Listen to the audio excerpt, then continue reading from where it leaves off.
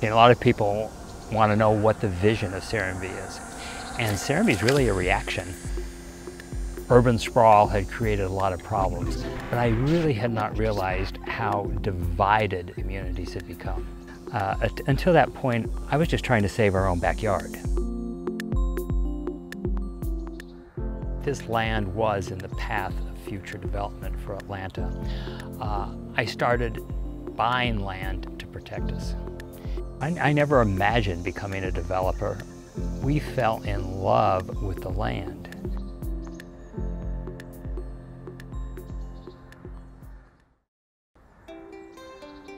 We opened our first restaurant in 1973.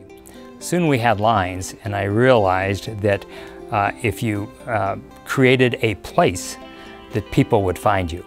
That became uh, the big uh, journey that led to uh, bringing an entire community together with a vision. So for a land policy, we saw our best model in the countryside of England. But we also looked at how America developed uh, community 50 to 100 years ago. Um, and many of the things that made our early towns uh, vital, uh, vibrant, uh, have disappeared today. Uh, one of the key things is art.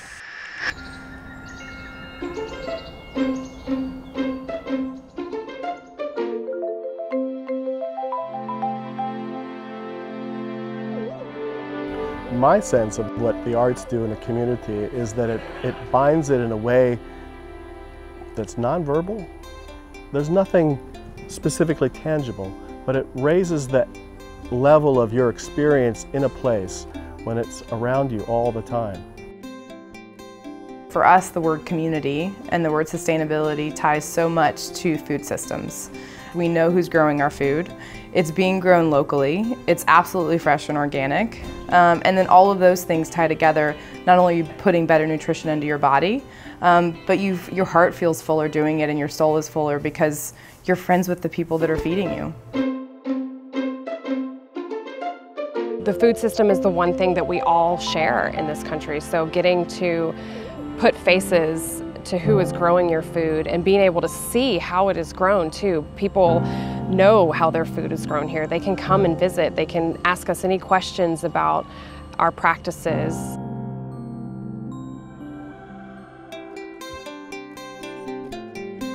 Connection to one another and connection to nature are key elements to both mental and physical health.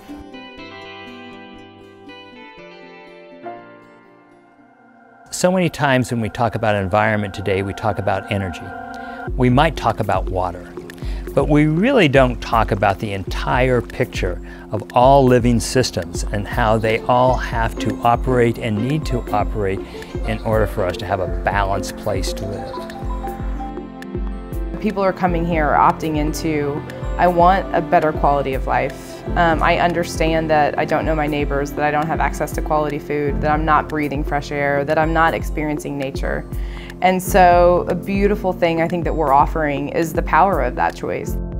It's amazing to me that we are in a global uh, conversation because we literally have people coming from everywhere uh, to understand these simple principles of developing community in relationship to nature.